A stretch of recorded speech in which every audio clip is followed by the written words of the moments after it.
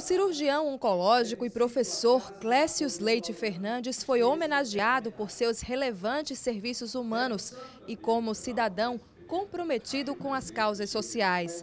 A propositura foi do então vereador Elton René, hoje secretário municipal de Proteção e Defesa do Consumidor. Não poderia nunca é, deixar de trazer esse presente para a cidade de João Pessoa, um dos filhos mais ilustres no, no quesito uh, de cidadania, de se dar ao próximo, médico, onde desempenha um trabalho fenomenal nos hospitais aqui de João Pessoa. E quando eu falo fenomenal, não é no seu trabalho do labor, é, do, do famoso arroz com feijão.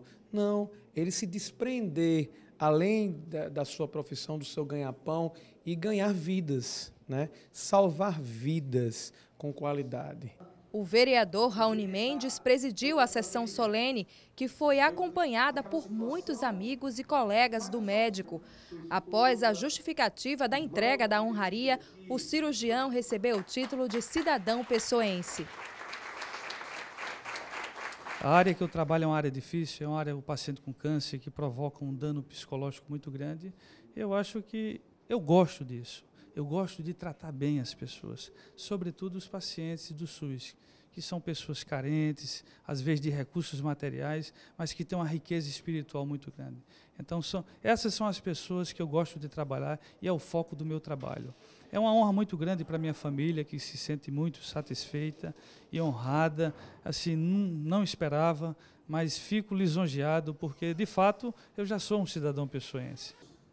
Doutor Clécius Fernandes coordena o projeto Semente de Mostarda. Criado há dois anos, o programa trata de pacientes carentes com câncer, de forma humanizada e gratuita.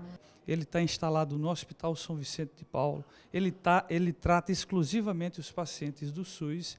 E qual é a forma desses pacientes procurar o hospital? Pelo Sistema Único de Saúde, seu postinho de saúde, você vai marcar uma consulta e aí vai aparecer o nome de todos os profissionais e vai ser direcionado para o profissional para um local específico e para uma hora específica.